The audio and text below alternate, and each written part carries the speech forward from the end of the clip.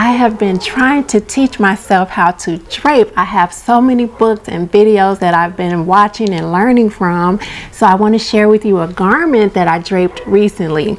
So I picked up this African print fabric actually earlier this year because I made a garment for one of my aunts and I had some scrap fabric left over so I thought that you know I would play around on my dress form to see what I could come up with and I ended up coming out with a peplum top and this is it and I thought it came out okay you know for me being a beginner trying to learn how to drape I am just really really proud of this little garment I did end up putting a centered zipper in the back I gathered on this ruffle here at the bottom. I didn't even finish it. It's kind of left raw, so I do need to go back and finish that. And I did put some bias tape around the neckline. I usually put the bias tape to the right side of the fabric, but this time I decided to put it to the wrong side of the fabric so that I can flip it over and then the green portion of the bias tape would show on the outside just to create some kind of color at the top, you know, a little decor, I guess you could say. And I did find some patterns, I wrote them down, that you could use if you're interested in making a peplum top. You can use Vogue 8815, View A, McCall's 7052 also in view A or 6896. There are also a ton of other patterns out there where you can make a peplum top but these are just a few that I found you know kind of quickly just doing a Google search. So now I want to move on to my next sewing make. I've just finished cutting out the pattern pieces for Simplicity 9102 and I want to make view A which is the view here that the model is wearing. I noticed that the back length of the dress was going to be 55 and a half inches long so I did end up cutting off an inch and a half from the bottom of the actual pattern piece before I cut the fabric out. For the fabric I am using this 100% cotton and it's like a denim and for the sleeves, I wanted to play with the fabric a little bit. There is a sleeve back and also a sleeve front. My plan is to use this side of the fabric for the sleeve front and to use the darker denim side for the sleeve back. So we'll see how that looks. As far as the details in the pattern, there are side pockets, which I cut out right here. Then there are some gathers in the front. There's a neckband. There are two buttons. There is a cuff on the sleeve, but I don't think I'm gonna put the cuff on mine. So there are actually also gathers in the back too. I did the stay stitching around the neck edges and this is per step number one and you are supposed to do it in a quarter inch. So I did that. And then next you are to take the front bands and to place them on the front of the garment.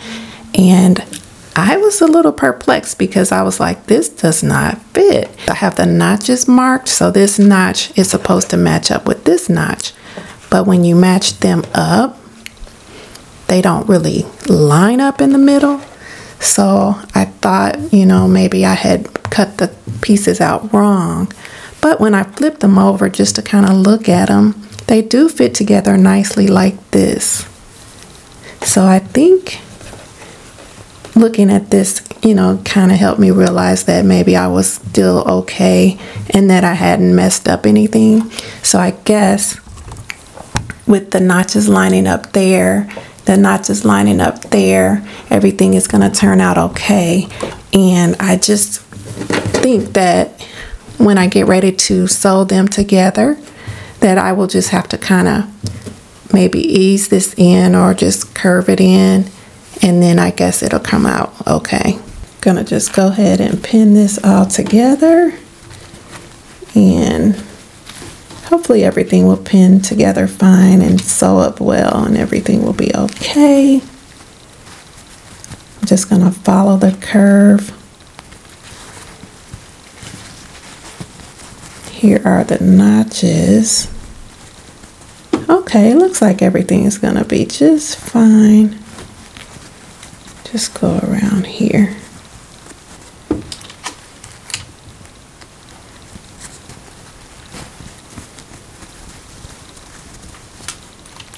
Everything seems like it's gonna match up okay. So I'm happy about that. I love using pins, so I always add extra.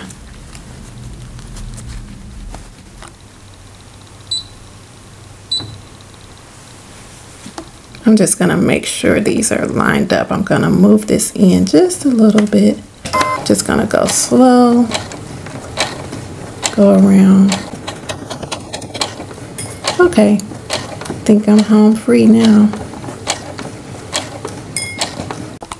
Okay, so the band is on, but I have good news and bad news. The good news is that the band sewed on just fine. So it fits, fits around the curve, and it looks okay. The bad news is, per the directions, I was supposed to sew the band on at 3 eighths of an inch, and I sewed it on at 5 eighths of an inch, even though this looks a little wider than 5 eighths of an inch, so I need to go and check that. But I have to take this out and do it all over again. I have the band sewn on here properly, and then the other front band pieces are going to be used as facings. And then you are going to take the facing and match it up to the right side of the band and then sew it down and also sew it down in another 3 eighths of an inch instead of a 5 eighths of an inch. All right, so the front band is on and I put in the buttonholes and now I will go ahead and put fray check on it. Or actually I might just put this on at the end. I didn't buy any buttons so I looked through my stash of buttons and I did find these two brown ones that I thought were cute and they're actually shank buttons. So I will go ahead and put these on when I get to that point. The next step is to sew the front pieces to the back pieces along the shoulder area and also down here